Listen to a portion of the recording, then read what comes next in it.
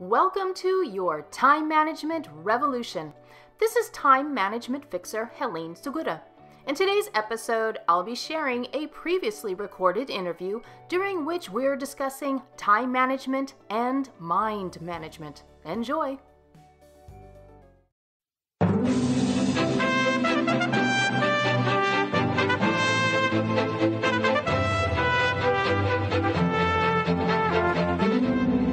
World. Welcome to Discover Your Talent, Do What You Love. Number 566. I'm your host, Don Hutcheson. Every Monday and Wednesday, I interview someone from around the world who's discovered their talents to do work they love to create a life of success, satisfaction, and freedom.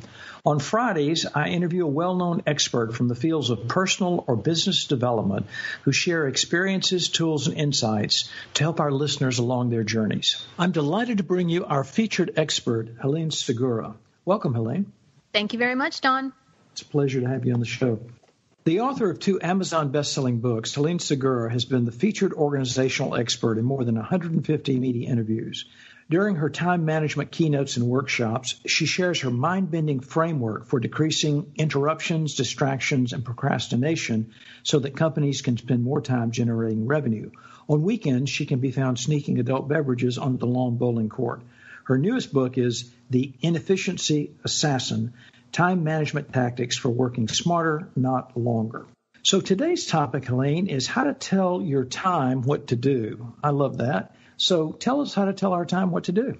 If you know of anybody who has ever uttered the words, I wish I could do that, but I don't have time, this is who this segment is for. You might be an entrepreneur just starting out, or maybe you've owned your own company for 10 years and now you're super successful, but you don't have enough time. You just feel like a chicken running around with its head cut off. Or maybe you work for a company and you feel like this work is never ending. There is never enough time in the day to finish everything. That's exactly who this program is for today. Good heavens. Well, I'll tell you, it's for me too, because I'm pretty organized after all these years. But man, you can never be too good at this, can you? No, you can't. And you always want to make sure that you create enough time in the day to have a life outside of work. So that's why this topic is so important to me.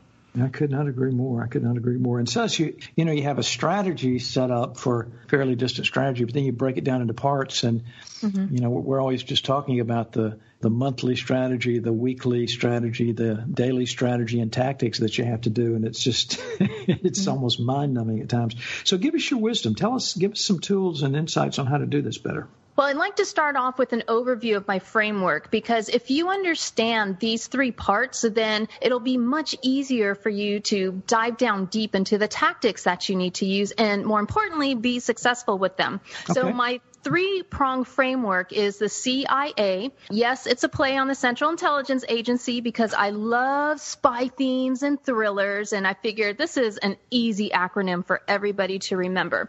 Good. And the C stands for create clarity as much as we would all love to run out and buy the perfect calendar or download the perfect task app, if we don't create clarity first, we won't be able to use and utilize that calendar or that task app. So by creating clarity, what we need to do is figure out the most important priorities in our work life and our personal life so we know what it is, what we're working for, and also who we're living for.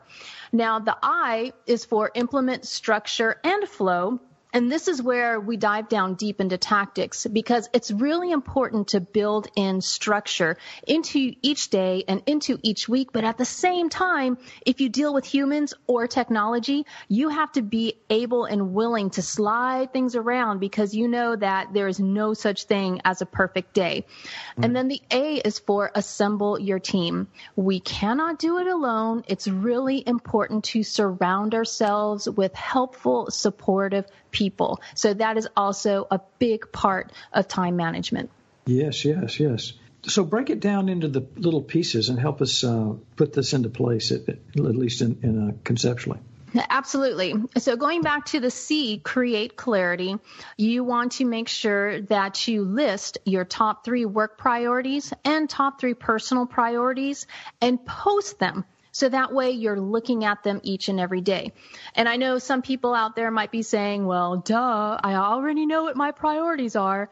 But the problem is they live in our subconscious and they don't come to the forefront of our brain but the key to time management is able to view those priorities because every decision you make about how you use your time should be based on how much what you're about to do is going to support one of those priorities.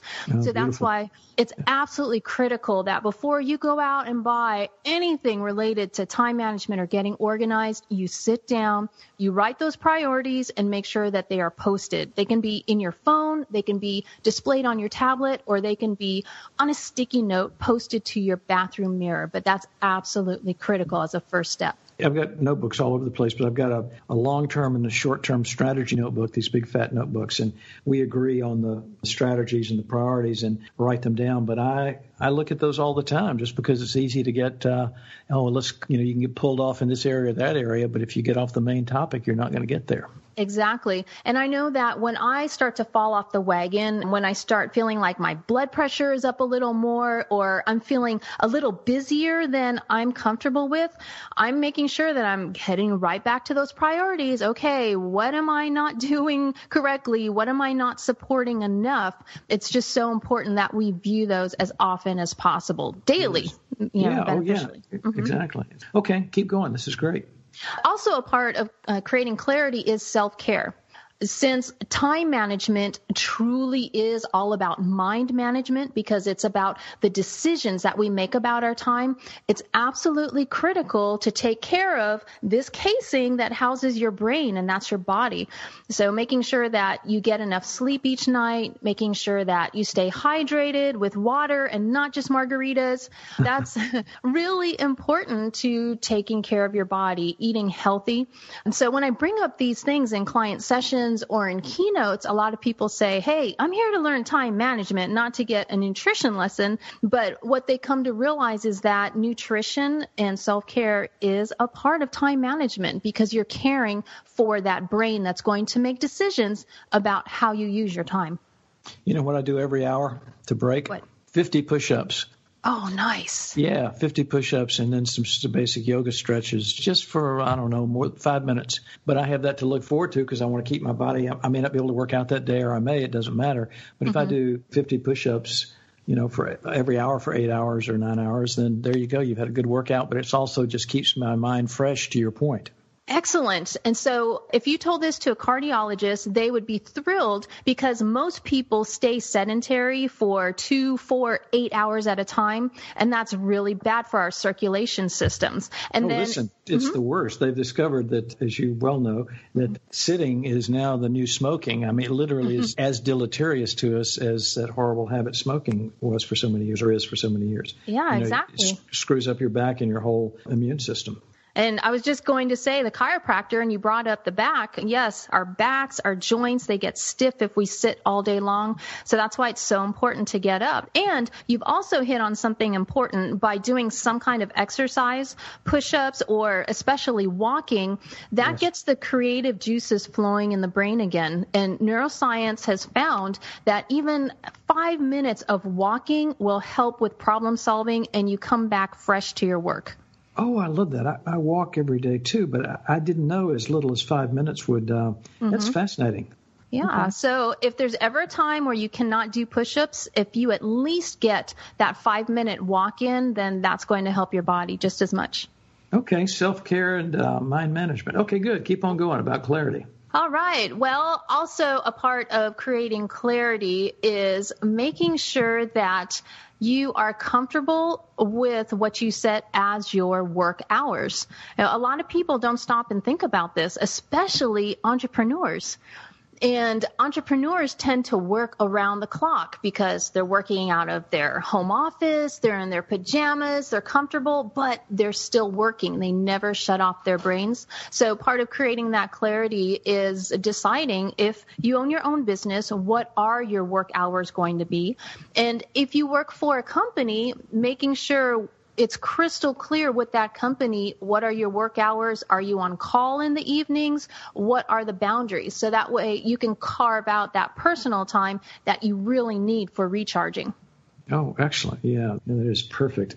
Yeah, sleep is a key part that I think too many people overlook, isn't it? Mm-hmm. Yes, most definitely. So that, they think they've got to work around the clock. Okay, mm-hmm. wonderful. What else about clarity? Well, there's one last part, and that is reflecting with power. A lot of folks, if they even stop to reflect, and this is especially so for women, so ladies, listen to what I'm about to say.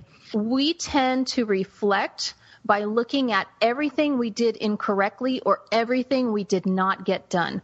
And that's uh-huh. a terrible way to start off a reflection because you're starting off with the negative.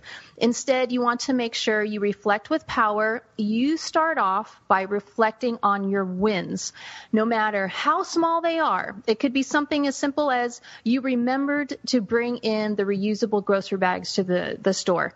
So start with anything that went right, anything you did correctly, any tasks you got done and then later on in your reflection, you can take a look at, okay, what do I still need to do or what do I need to improve upon? But it's so important for your mindset and for motivation that you start off your reflection with the positive.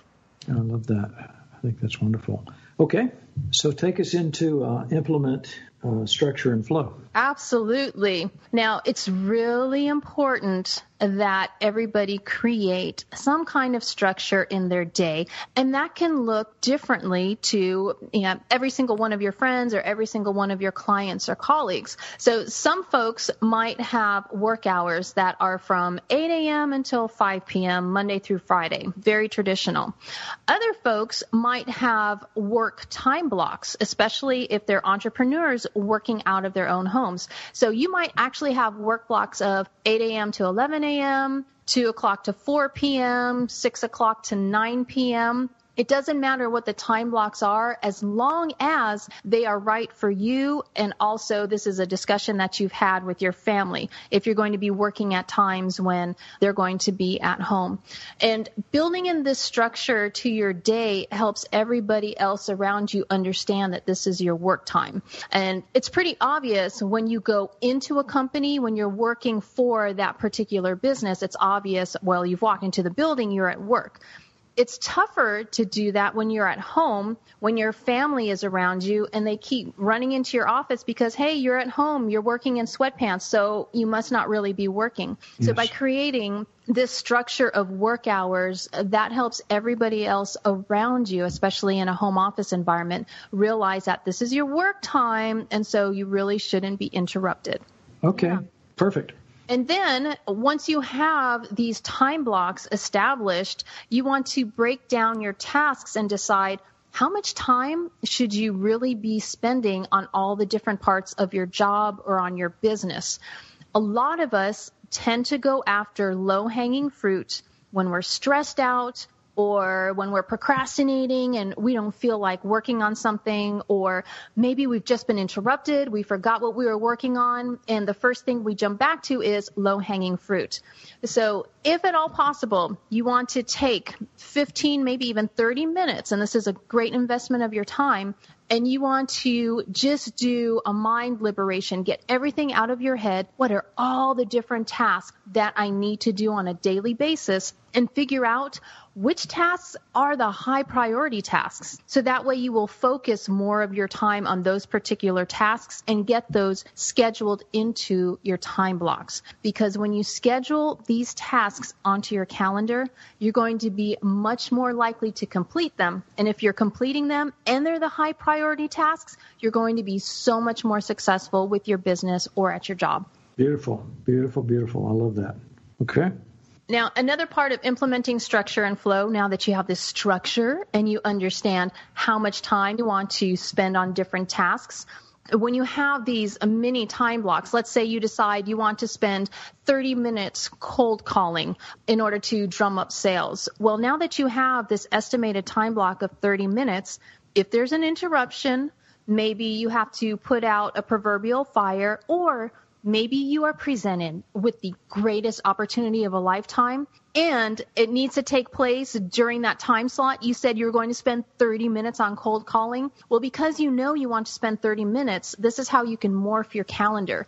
You move that time block forward to a different time. So it's not falling off your radar, but you're also able to handle whatever that interruption was so you don't get knocked so far off track. Yeah, I'm loving this. I've got some systems in place that I've gotten pretty anal about this because I realized that I could just get caught up in a project and do just what you're saying here. Mm-hmm. You know, just let it just take over. And there was another project that maybe wasn't an A priority, but had needed to be done. And I ate up several hours. But if I track the time, uh, with these little notebooks I keep, then I can mm-hmm. say, "Whoa, wait a minute, wait a minute." You know, I've got to stop now. And but if I don't track it, I don't know how I'd keep up with it. I'd just sort of be lost out there. Exactly. And you bring up a very important part of time management that most people don't want to do. And I'll use an example with one of my clients. We'll call her Nancy. When Nancy called me in and I gave her the homework assignment at the end of our first session of tracking her time for a week, she just looked at me and she said, Are you kidding me? Do you know how much time that would take? I don't have that time. That's why I called you in here.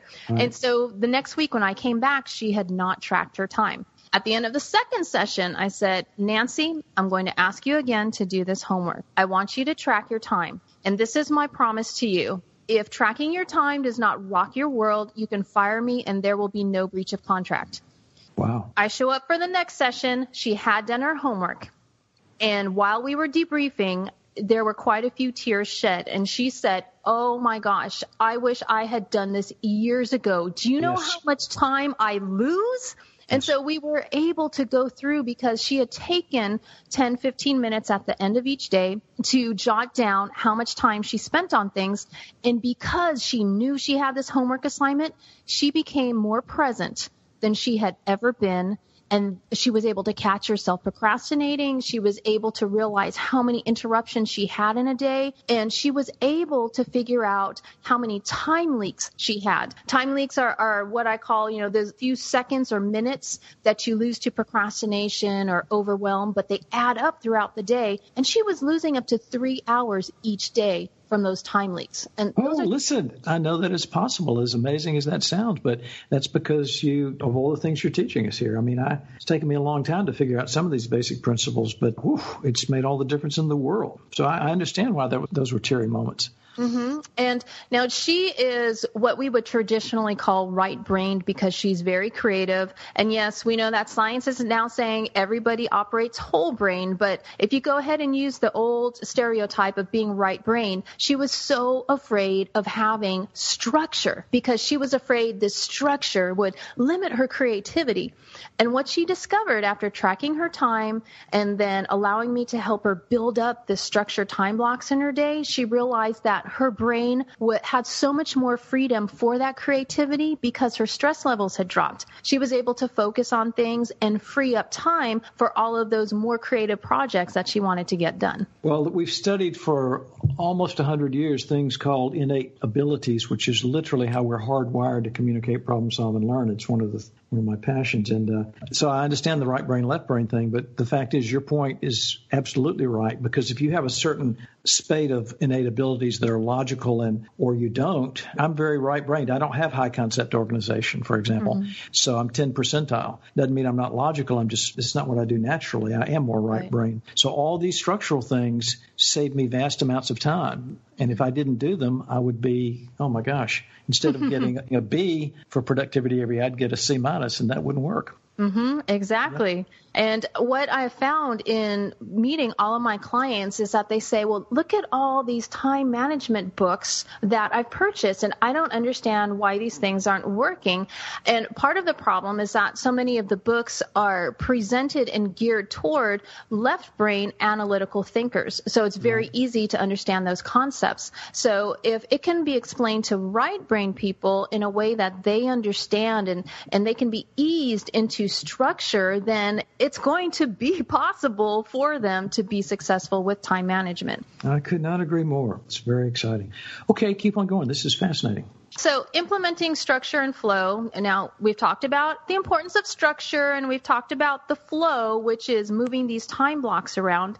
Something else to remember is that when you are building your structure and your time blocks for the day, you actually do not want to block every single minute of the day. So when you are tracking your time, as we talked about earlier, you figure out where your interruptions are, how often you're called to put out those quote unquote fires. Once you understand how often that happens, number one, we can work on prevention, which we'll talk about a little later. But also, number two, you realize how much time you need to pad into your day to allow for these interruptions to happen. So if I'm working with an ER nurse, she is not going to be able to structure 100% of her day. We can structure maybe 10%, because 90% of her day is reactionary. She needs to be able to accept whatever patients are coming in. You know, if somebody comes in uh, bruised and battered, she can't just say, um, can you not interrupt me right now, please, because I need to finish this task. right. So that's why it's important to track your time and understand how many interruptions you have so you can decide, okay, should I only schedule out 25% of my day? Can I schedule out 50% of my day? Or can I go up to maybe 75 or 80%? percent of my day. So you do want to have that structure, but at the same time, you don't want to precisely plan out every single minute of your day because, as I mentioned earlier, if you deal with humans or technology, it's just not going to work. exactly. Beautiful. Those are pretty much the high points for implementing structure and flow, unless you okay. want to dig deep into email management, file management, or anything like that. Let's do A. Let's do okay. A, and then we'll see how much time we've got. Okay, great. Well, the A, assemble your team. The example I love to give is James Bond because James Bond is one of my favorite spies. and I love to point out, I realize he's a fictional character, but he is what literature expert Dr. Thomas Shippey calls omnicompetent. The man can do anything. He can fly planes and drive fast cars and he can shoot any weapon if he needs to get out of a situation.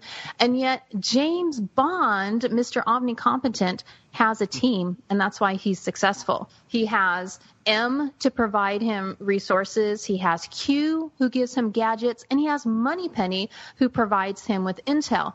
So if Mr. James Bond needs a team, so do the rest of us. I love this metaphor. That's wonderful. Yeah. And even people who are not fans of James Bond, they've heard of the plots, they've heard of these other characters, and you begin to realize, wow, if he needs this help, so do we. And that's why it's really important that you create both your personal team and your work team. Your personal team should consist of everybody who lives in your household because they've got to be on the same page as you are in order for you to be more successful and in order for them to be successful as well. If you're living in a household of one, like my client Nancy, then we recruited folks to her personal team. We had her two adult children on board as well as her best friend. Now, if your personal team lives in your household, then you can have a weekly family meeting to discuss what everybody's priorities are for the week and what everybody's schedules are. That way, nothing falls through the cracks and you don't have any more last minute 11 o'clock trips to the store to get materials for a school project. And if your team is not within your household, then you want to schedule one or two calls a month just to help each other stay accountable and make sure that you're staying on track. You need that personal support. The same is true for work. If you are an entrepreneur and you are a department of one, then you create your work team based on who you're interacting with in your business world. So maybe you subcontract things out, or maybe you have business colleagues in your city or now i mean we're virtual we're virtually having this podcast so you can also do virtual calls with your work team but you you want to have people in your corner so you can bounce around ideas and run information by them and that's why it's important that your work team and your personal team are not filled with yes men or yes women. You want spinach in your teeth friends, the kind of friends who will tell you the truth in a nice way, but they tell you the truth. Exactly. So you Yeah, you want to create those work teams. Now, for anybody who's listening, if they work for a company and they are not assigned a specific department, then start scouting around for different coworkers who you can talk to, especially if you work with them frequently on projects, because those are the folks you need to be in communication with so you can support each other. Beautiful, beautiful. Okay. Is there more to A? That, in a nutshell, is A. We Okay. could deep dive into some communication because that's where time management can fall off as well. But in a nutshell, that covers assemble your team. Well, let's take just a few minutes and talk about some specific tactical stuff, just like you said about communication that listeners could benefit from. Absolutely. For some reason, a lot of us are so shy about expressing our feelings when somebody walks in and interrupts us. And a part of what's important is to learn to be more assertive. And assertive does not mean being an ogre or being mean. It's just simply stating what you would like to have happen. So if you have a coworker who comes in and interrupts, you can look up and say, I would love to chat with you right now, but I am on a deadline. I need to finish this by 3:30 today. Can we make an appointment so you can come back later, say 3:45? That way I can give you my full attention because honestly, I would not pay attention to you right now. Yes. And most people are willing to respect that. If they're not, then that's a whole different conversation. But too many of us are shy. We're, we're afraid of hurting others' feelings, but we're not hurting somebody's feelings if we're trying to serve them better by making sure that we finish what we need to. Yes, yes. Well, it's boundary setting. It's the hardest thing in the world for a huge percentage of the population, just setting good boundaries. But if you express it as clearly as you just did, you know, unless they're a complete, uh, you know what, they'll Right. understand. They'll understand. Exactly. And if they're a complete, you know what, well, I'm sorry, I don't care. Get out of my office. right, exactly, because is that the kind of person you want to help anyway? Right, no. Now, yeah, and when the tables are turned at the same time, you can't be a you know what as well. So it's not like you can throw something at somebody and say, "Get out of my office! I don't want to No. talk to you right now." You just need to be very clear and diplomatic with whatever expectations you're expressing. Exactly, exactly. Okay, what'd you say about emails? Well, a lot of folks will not want to hear this, but the number one distractor in an office is the email notification going off on the computer or on the tablet. So one of the first things I request that my clients do is to turn off the email notifications. And you should see the panic in their eyes when I make this request. Yes. But it's very important to understand that I am not requesting that you stop checking email. What I'm requesting is that you check email when your brain is ready to receive it. Because neuroscience tells us whenever we switch a task, we're losing an average of 60 seconds of brain restart time. So if we get an average of 100 emails a day, and we're losing 100 minutes in brain restart time. My goodness, look at how much time you can get back just from turning off that indicator. With some clients, they have to check their email quite frequently. That's fine. Check it every 10 minutes, but at least you have 10 minutes of focused time where your brain can work on a task. Wow, yes, it's amazing. Mm. It's amazing how much information we process in the course of even an, a minute or an hour. It's amazing. One final bit of advice. Lay it on us. I would highly recommend that you know what your top three priorities are for your day before you open your email inbox. Because too often we let email run our day and all we end up working on is that low hanging fruit. So make sure you understand what top three tasks need to get done before you open email in the morning. Perfect. I love that. Helene Segura, what a great pleasure having you on the show today. I know that listeners have learned many lessons about how to um, tell your time what to do, which we all need to do even more. So, how do those listeners get in touch with you? They can go to my website, timemanagementrevolution.com. And if anything during our interview piqued their interest, then I have great news because my book is on that website too. And that deep dives into every single tactic that you would ever need in order to be successful with your time. And while you are on that page, timemanagementrevolution.com, make sure that you sign up for my complimentary productivity kit. I have my time blocking chart in there that I use with my clients, so you can download that. I have a podcast on procrastinating, so don't delay. Make sure you watch it. Haha. Oh, I have some, perfect. yeah, I have some other resources in there, so I hope that all of your listeners will take advantage of those tools. Yes, please. And listeners know you can go to discoveryourtalentpodcast.com, click on podcast in the nav bar, and find the show notes of all these points and the connecting points as well. In closing, every one of us is born with unique talents and gifts. We don't learn them. We can't ignore them. They're just a part of who we are, our DNA. Whenever we discover them and use them in our lives and careers, we do not merely survive, we thrive in every way possible. So until next time, all my best, and whatever you do, have fun out there today.